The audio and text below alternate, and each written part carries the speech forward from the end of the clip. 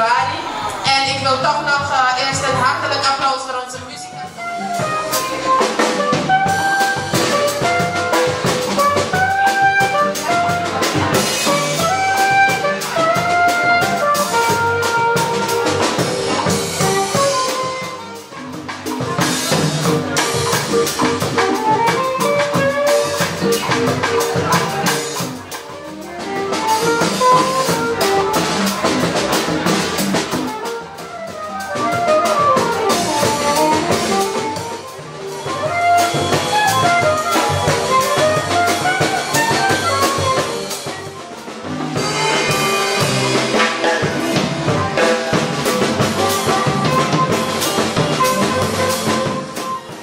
Thank you.